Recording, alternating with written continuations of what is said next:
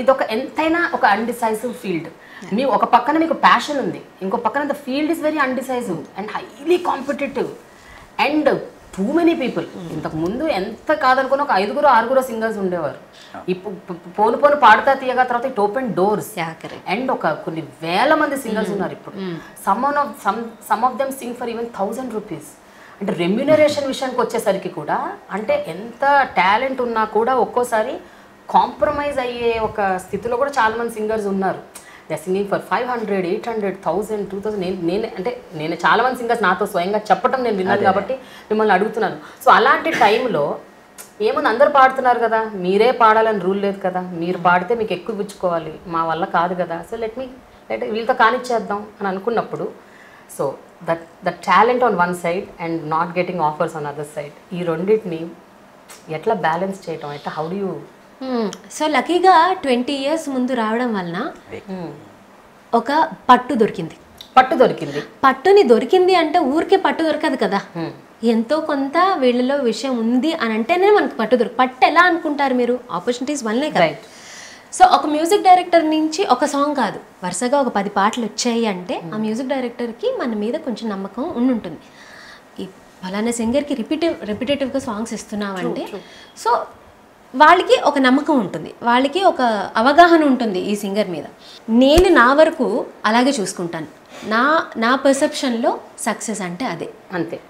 ఎందుకంటే బట్ అదే music director తర్వాత కాలంలో తర్వాత కాలంలో ఇవ్వకపోయినా అది అది ఏంటంటే అది ఇంకా అది ఒక నీరు అంతే ప్రవాహం. ఇంతకు ముందు బాలు గారు నలభై ఏళ్ళు పాడారండి. ఇక మీదట ఎవరికి సాధ్యం కాదు. అలానే ఇంకా మిగతా వాళ్ళ టాలెంట్ లేనట్ట? కాదు కదా. ఇంతకు ముందు ఎక్కువ ఉండేది నిడివి ఎక్కువ ఉండేది లాంగ్ స్టాండింగ్ ఉండేది ఎవరికైనా. ఇప్పుడు అన్ని అన్ని షార్ట్స్ తగ్గుకుంటూ వస్తున్నాయి. ఆ తక్కువ టైంలో నువ్వు ఎంత నువ్వు ప్రూవ్ చేసుకుంటావో అది నీ మీద ఉంది. అండ్ అప్పుడు ఓన్లీ రికార్డింగ్స్ అని అనుకుంటే ఇప్పుడు చాలా వెన్యూస్ ఉన్నాయి. లైక్ మేము వచ్చిన కొత్తల్లో మ్యూజిక్ డైరెక్టర్స్ మేము షోస్కి వెళ్తున్నాము అంటే తిట్టేవారు. అండ్ మీరు నమ్మంటే నమ్మకపోండి మీరు never used to bother about shows phone చేస్తే షో అంటే బ్యా అని మేము ఏదో ఒక రీజన్ చెప్పేవాళ్ళమే. వెళ్ళకుండా.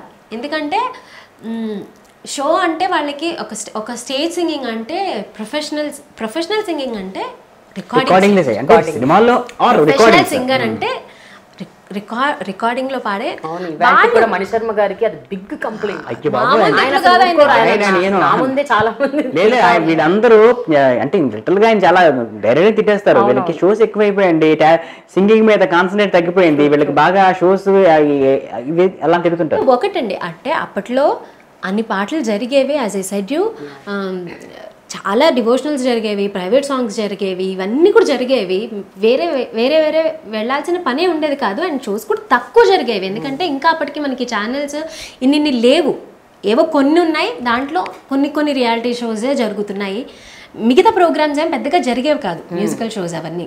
సో అలాంటప్పుడు ప్రొఫెషనల్గా అని అందులో మనం కెరీర్గా వెళ్ళి ఎంచుకున్నది ప్రొఫెషనల్గా రికార్డింగ్స్ పాడడానికే కదా. ఇంకేం ఆలోచన ఉండేది కాదు.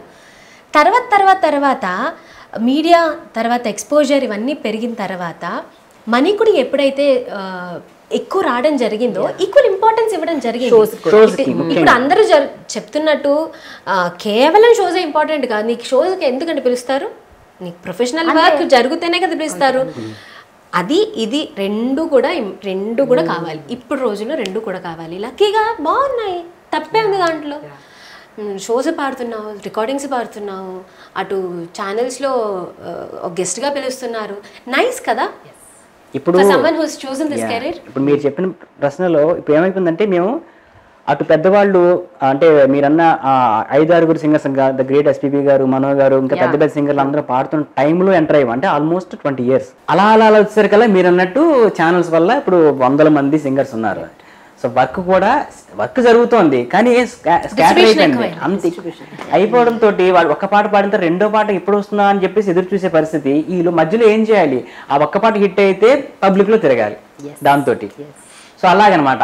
సో మనం ముందుగానే కొంచెం సేఫెస్ట్ మోడ్లో ముందుగానే వచ్చేసాం కాబట్టి సో మాకు ఆ వెళ్తే ఏం లేదు.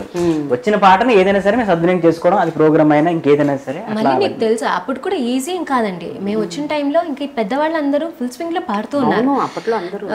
మీరు మేము పాడిన సినిమాలు ఇన్లే కార్డ్స్ చూస్తుంటే కనుక ఇప్పుడు ఇన్లేస్ లేవు అనుకోండి అప్పుడు ఇన్లే కార్డ్సే కదా మనకి. ఇన్లేస్ చూస్తుంటే కనుక కార్డ్లో క్రెడిట్ ఎస్పి పాటలు చెప్తున్నాను నేను. ఎస్పి బాలసుబ్రహ్మణ్యం ఉదిత్ నారాయణ్ హరిహరన్ అవును. శంకర్ మహాదేవన్. సుఖవిందర్ సింగ్ మల్లికార్జున్. ఆ ఆరుగురులో ఒక ఒక పాట నాకు ఉండేది. వాళ్ళు ఎలాంటి వాళ్ళు? అవును. ఐ రిమెంబర్ ఇంద్రాలో పాడారు కదా? ఇంద్ర? బాలు గారితోని ఇందిరా ఠాగూర్ ఒక్కడు నేను నేను అసలు నేను ఎంటర్ అయిన టైంలో మనిషి గారు పీక్లో అందరూ యాక్టర్లకి పాడినట్టున్నారు. అందరికీ పాడాను. అందులో ముఖ్యంగా నేను చెప్ప అంటే అందరికీ పాడిన ఒక ఇది ఉంది. తను చెప్తున్నట్టు అంతమంది పెద్దవాళ్ళ మధ్యలో ఒక పాట దక్కడం అనేటువంటిది చాలా గొప్పగా ఫీల్ అయ్యేది అనమాట సో అది బాలుగారితో కలిసి పాడడం. తర్వాత ఇప్పుడు నేను అంతమంది హీరోలకి పాడిన రికార్డు తను అంతమంది సంగీత దర్శకులకి పాడిన రెహమాన్ గారి దగ్గర నుంచి ఎంఎస్ విశ్వనాథన్ గారికి. ఆ అవకాశం ఇప్పుడు అంటే ఆయన అప్పుడు చేస్తున్నారు ఇంకా స్టిల్ లక్కీగా సో ఆ విధంగా తనకు ఆయన దగ్గరకు పాడే అవకాశం కలిగింది ఇప్పుడున్న కాంపిటీషన్ పెద్దగా అంటే అంటే స్ట్రగుల్ లేకపోతే భయం అలాగే ఏమి ఉండదు అనమాట అది.